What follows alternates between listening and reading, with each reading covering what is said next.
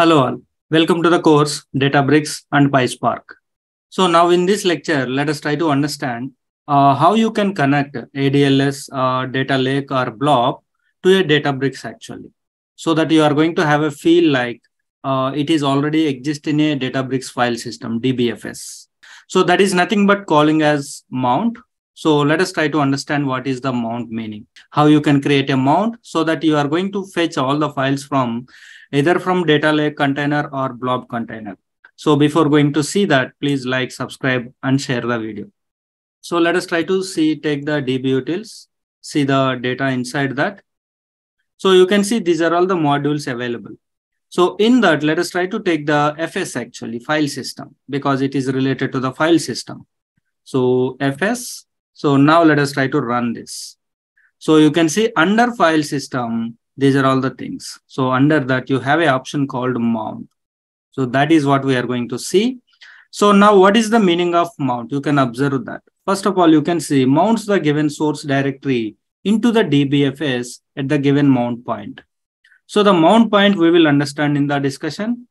And then you can understand mounts the given source. So it is somewhere else that may be a data lake or blob, whatever. So that directory that is coming into the DBFS actually as a directory. So you can feel like all the files which are exist in this particular source, which is external, you are going to feel like it is exist already in the DBFS. So that's what it is going to give the feel. So let us try to understand what is the mount. Inside that, you must mention the source. On top of that, you must mention the mount point and then uh, whatever required details you need to give. So for the access permission, authentication, all, all these things actually. So for that, first of all, if you try to understand, this is the uh, data lake we are going to refer. So that is what uh, EFN ADLS. And in that, if you take the container, so that is the source. So this source contains, these are the files actually. So to this particular container, we are going to connect from the Databricks actually. So for that, what there is a standard format. So you can see that from the Databricks documentation, this is the standard format is given by the Databricks actually. You can just copy it and then bring it to your notebook. So just paste it here. So you can see under the source. So you need to mention the source, right? As you mentioned here in the structure, uh, you can see that in the mount, he mentioned the source. So this is what the source you are giving and here to which container you want to connect? And then what is that storage account name? So that is what right you just seen that this is the storage account name efn adls let us replace that. Uh, at storage account name just uh, replace efn adls uh, container name is source. This is what the source right? You can see that. See this is the source. So just give that name in the container place. So in this position, give that source. Then that is done. Then this is the mount point actually. Okay. What is this meaning mount point? So let us come to uh, Databricks portal and go to the data part actually. You can see here, see, go to the DBFS. So just give something. So you can see DBFS, this is one directory or folder. This is one folder, the MNT is one folder like this. These are all the folders actually. So this is calling as a mount point also.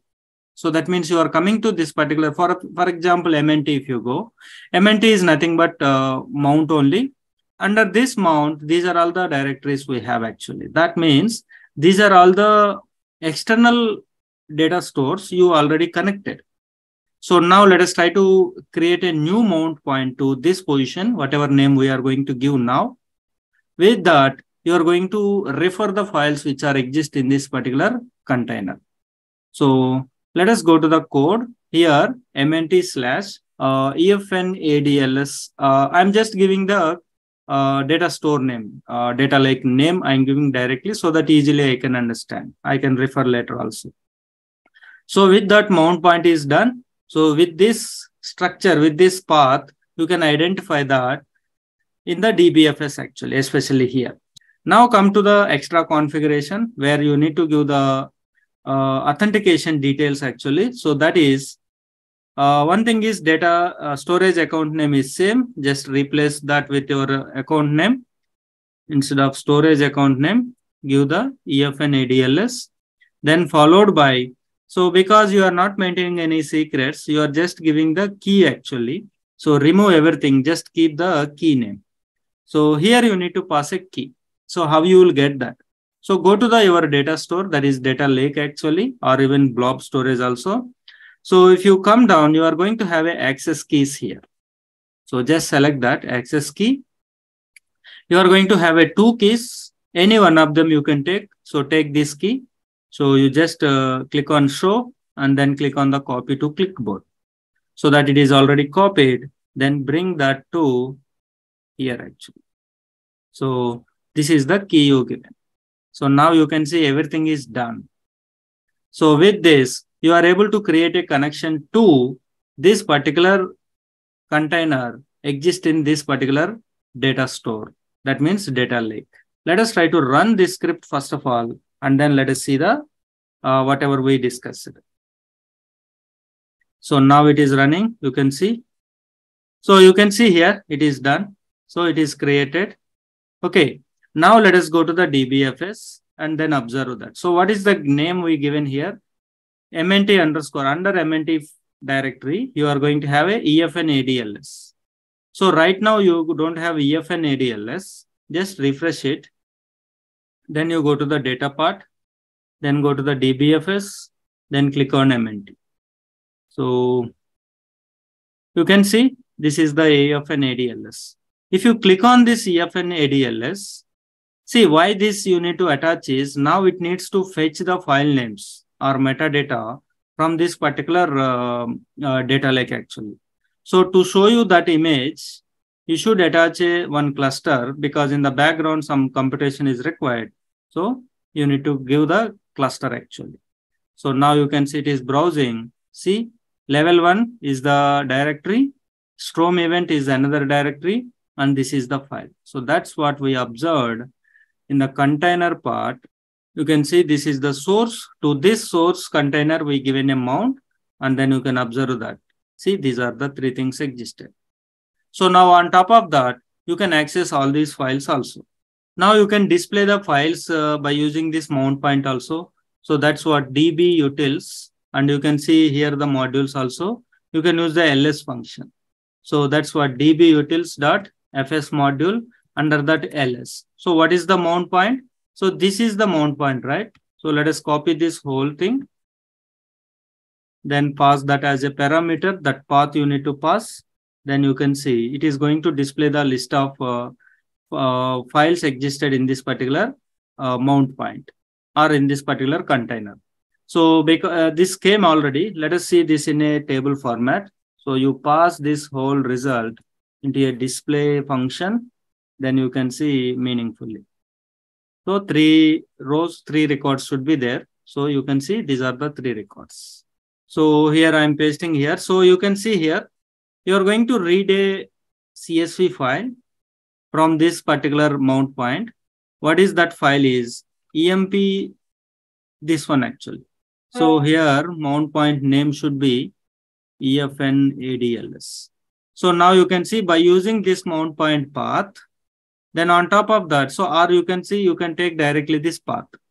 So that is what I'm trying to copy this particular uh, file actually. So that copy it and paste it here. And then you can load that data into a data frame. So that's what we are trying to do here. Just run this one. So this table have actually total 14 records. You can see that this file have 14 records. So click on edit. So total 14 records, including the first, excluding the first line actually, which is headers. So now this is done. So let us try to display the data frame data so that you should observe total uh, 14 records in that particular data frame. So you can see here total 14 records. These are the 14 records. So this way, first of all, you can mount it. And then on top of that, you can fetch any file data into the data frames or RDD, whatever, basing on the requirement, you can do that. Okay.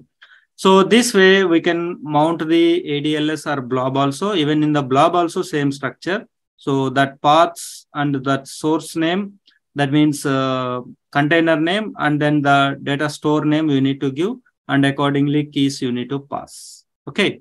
So hope you understand how to mount to, to a ADLS or blob.